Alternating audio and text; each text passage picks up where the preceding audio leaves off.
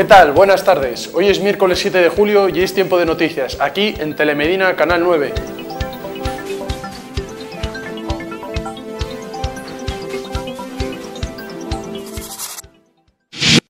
Servitrama Transportes te ofrece esta sección. Se inoculará el próximo 14 de julio la segunda dosis para los nacidos en el 1959, 60 y 61 a los vecinos de Vendina del Campo y Comarca. La Consejería de Sanidad de la Junta de Castilla y León ha informado sobre una nueva convocatoria de vacunación contra la COVID-19 para la población de Medina del Campo y su comarca. En este caso, se procederá a realizar la segunda dosis a los nacidos en 1959, 60 y 61 que estén empadronados en los municipios de las zonas básicas de salud de Medina del Campo Urbano y Rural, Alaejos, Íscar, Olmedo y Serrada, y el lugar elegido para la inoculación es el Polideportivo Municipal Pablo Cáceres y la fecha es el próximo 14 de julio. Esta campaña de vacunación avanza. Las cifras de hoy indican que tenemos ya casi dos millones y medio de dosis administradas, dos millones cuatrocientos noventa y cinco mil doscientos veinte dosis administradas, con un millón ciento veintinueve mil ciento setenta y tres personas inmunizadas en nuestra comunidad. Hoy como he dicho antes, cruzamos, vamos a cruzar ya, y yo creo que a lo mejor a estas horas lo hemos cruzado ya, el umbral de los dos millones y medio de dosis administradas. El 67,7% de la población de más de 12 años posee ya una dosis y el 51,8% está completamente inmunizada. Tiene las, dosis puestas y en el caso de Janssen la dosis puesta. Por encima de 40, y, de 40 años tenemos ya el 90% con una dosis y el 60% inmunizados al completo.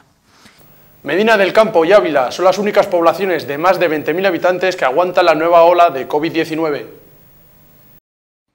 El aumento de contagios por coronavirus ha multiplicado la incidencia semanal en toda Castilla y León, pero donde más se está agravando es en las capitales de provincias y municipio de más de 20.000 habitantes, de tal forma que Arroyo de la Encomienda registra 194 casos por cada 100.000 habitantes, mientras que Medina del Campo se mantiene en 54 casos. Afortunadamente, la vacunación en determinados bloques de edad, grupos de edad, nos ha permitido controlarlo pero todavía tenemos un porcentaje de personas no vacunadas que pueden estar en riesgo y, por lo tanto, tenemos todos que intentar hacer todo lo posible para controlar esta situación. Lo bueno que tiene esta, esta enfermedad es que es vulnerable. ¿Qué, ¿Qué significa vulnerable? Que podemos evitarla. ¿Y cómo se puede evitar? Pues básicamente con una medida fundamental que es la vacunación, pero también con nuestra responsabilidad individual. Nuestra responsabilidad individual nos ayuda y puede ayudarnos mucho a no incrementar el número de contagios. El PSOE de Medina solicita explicaciones por la inoperancia en el plan de lucha contra la despoblación. El PSOE de Medina del Campo ha solicitado la comparecencia ante el Pleno de la concejala de Desarrollo Local, Patricia Carreño, con la finalidad de esclarecer las razones por las que no se ha puesto en marcha el plan de lucha contra la despoblación. Para esta formación política, en el año 2018 se pusieron las bases para trabajar en el asentamiento de la población en nuestro municipio. Sin embargo, con la llegada de Guzmán Gómez Alonso a la alcaldía de Medina del Campo, este plan está absolutamente paralizado, no habiéndose puesto en marcha ni una sola de las acciones contempladas, manifiestan desde el Partido Socialista. Cine de verano y magia son las propuestas de este fin de semana para el barrio de la Mota. El primer punto de encuentro tendrá lugar este sábado día 9 en el auditorio al aire libre situado en el Parque Villa de las Ferias para disfrutar del cine de verano. En este caso, la directiva de la Asociación de Vecinos ha tenido la oportunidad de elegir entre una gran variedad de películas y finalmente se proyectará la dirigida por Santiago Segura Padre no hay más que uno. La cita tendrá lugar a las 22 horas y como en el resto de actividades que organiza el ayuntamiento se contarán con todas las medidas de seguridad para disfrutar de la actividad. El ayuntamiento de Fresno el Viejo recupera Fresnarte. El Ayuntamiento de Fresno el Viejo vuelve a celebrar este 2021 el verano activo, aunque lo hará con carácter reducido. El municipio ha programado música, baile, folclore, teatro y circo para los meses de julio y agosto. También recupera Fresnarte, donde tendrán lugar citas como el Mercado Castellano, además de varias exposiciones de pintura y fotografía taurina, repartidas todas ellas en espacios diferentes de la localidad como la Plaza de Toros, la Plaza de España y el patio del Museo Etnográfico de antaño a hogaño.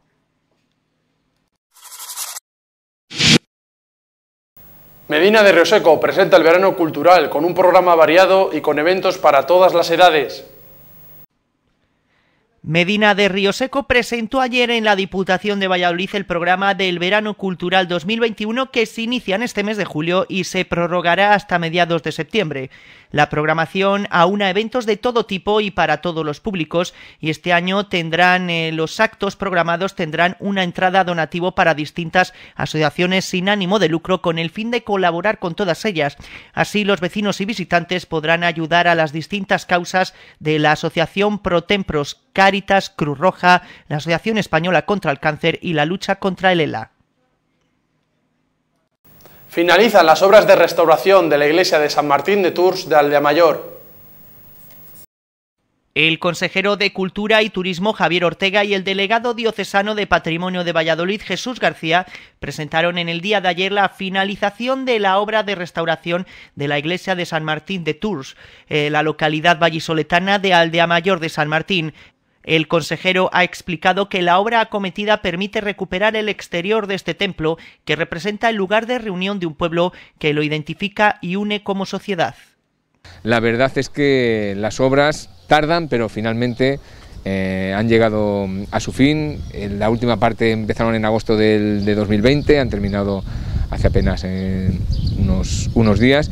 Hemos invertido aquí, cofinanciado con fondos FEDER, medio millón de euros, la Consejería de Cultura y Turismo acompañados, por supuesto, con la Archidiócesis de Valladolid también, en otro ejemplo más de, lo que venimos defendiendo desde la Consejería de Cultura y Turismo, la concertación público-privada, la concertación institucional, la colaboración entre instituciones para hacer de nuestro patrimonio esta seña de identidad, ese recurso turístico, no solamente eh, patrimonial, sino sobre todo turístico, comentaba ahora mismo al alcalde, ¿no? si, si realmente esto es un incentivo más para que todos los eh, los vecinos y los habitantes, no solamente de la provincia, sino de la comunidad, quieran pasarse por Aldea Mayor y visitar no solamente la, iglesia, sino como dice el alcalde, el entorno. La verdad es que eh, las actuaciones que se han llevado a cabo también muestran muy a las claras lo que las empresas eh, de nuestra comunidad autónoma están haciendo con esa labor, de, esa calidad y esa excelencia que están demostrando, lo que los técnicos también de la consejería, con su director general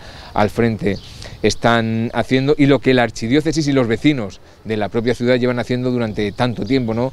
que es proteger, conservar estos edificios, este eh, patrimonio que, como hemos dicho en muchas ocasiones, representa nuestro verdadero petróleo, tenemos que conservarlos, tenemos que difundirlos, tenemos que darlos a conocer para que contribuyan una vez más al beneficio de todos los vecinos de Aldea Mayor y, por supuesto, de la provincia y de la comunidad. Isabel Blanco participa en una jornada sobre la calidad de los servicios sociales. Es aplicar todos los sistemas, aplicar las nuevas tecnologías al cuidado de las personas y centrados en la persona.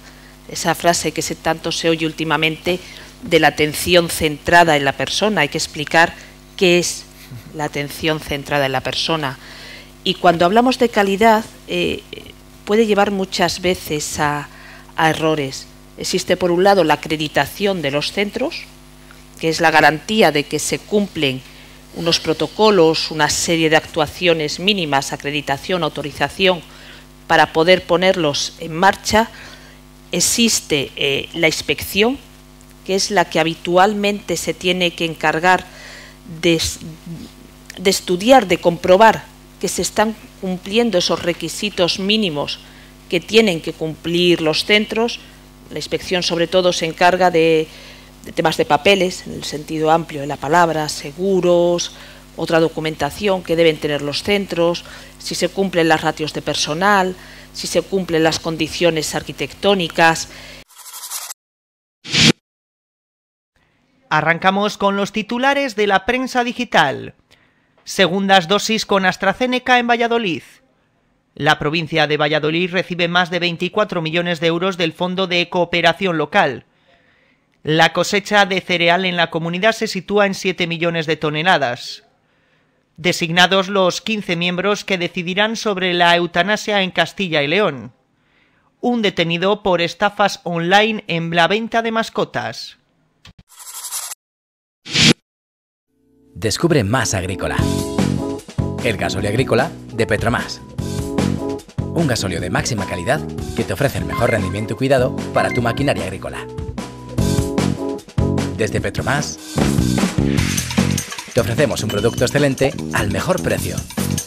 Infórmate de nuestro programa low cost en masagrícola.petromas.com o llamándonos al 983 81 1000, Plaza del Pan 7, Medina del Campo. Más Agrícola, gasóleo agrícola. El tiempo para mañana en Medina del Campo será de cielos con alternancia de nubes y claros. Nos esperan precipitaciones y tendremos temperaturas máximas de 27 grados y mínimas de 10. Vientos en calma. Y ahora vamos con el tiempo meteorológico nacional. ¿Qué tal? ¿Cómo están? Ambiente más fresco y nuboso en el norte y nos esperan dos días de calor moderado en el centro y en el sur peninsulares. Vemos como en las últimas horas ese frente ya muy desgastado abandonaba la península por el este, dejando precipitaciones débiles en Cataluña, también en la Comunidad Valenciana y sudeste de Castilla-La Mancha. Y el causante de toda esta nubosidad esta mañana en el extremo norte es ese flujo del norte que aportaba humedad y también inestabilidad, con precipitaciones más intensas en Cantabria esta mañana, con acumulados de 18 litros por metro cuadrado a las 10 de la mañana en Del Mar.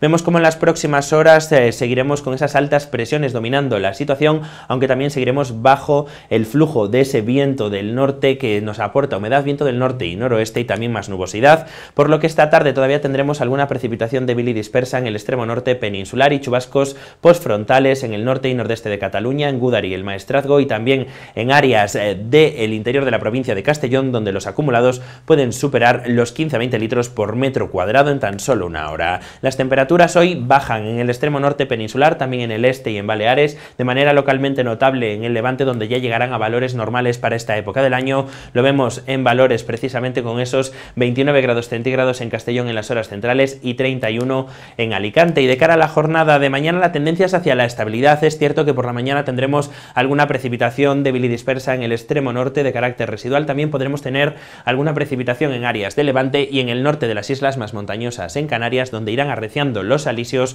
con rachas locales que pueden superar los 70 km por hora, pero por la tarde se irán abriendo grandes claros, tendencia hacia la estabilidad y también hacia el calor. Ascenso térmico en la jornada del jueves en el oeste peninsular y de cara a la jornada del viernes será prácticamente generalizado. El calor va más y les podemos adelantar que de cara al fin de semana las máximas podrán superar los 40 grados en el interior peninsular. De momento el jueves fresco por la mañana en la meseta norte, 8 grados en León y 9 en Burgos, más calor en el Valle del Guadalquivir con 37 grados grados centígrados en Córdoba en las horas centrales, 27 tendremos en Santa Cruz de Tenerife. Esto ha sido todo, si quiere más información, consúltenla en nuestra página web.